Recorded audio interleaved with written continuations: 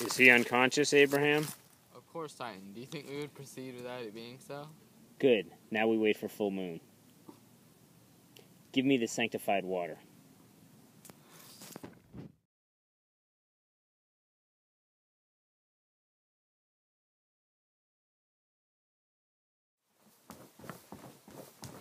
Abraham! Abraham, wake up. A messenger from an anonymous source has been saying you and another have been in the act of cannibalism. Please do not tell me this is true. I don't know what you're talking about, Father Harris.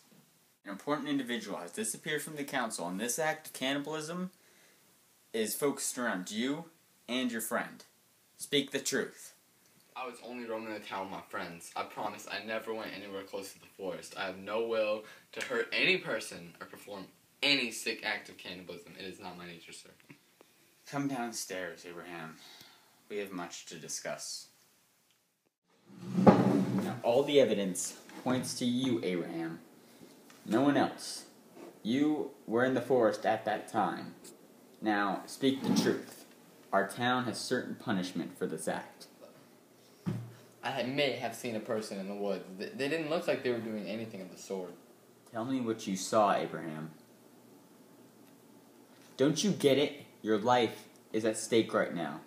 Tell me what you saw. I saw Titan. Titan was behind all of it. You've probably just saved your own life, nephew. Now let's go to Titan and let's bring him to the court.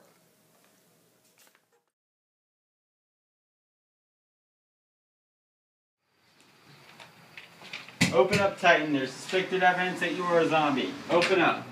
No, I would never do such an act. The act. Titan was the one who started eating the poor man to death. Just look at his teeth. No, father. It is not true.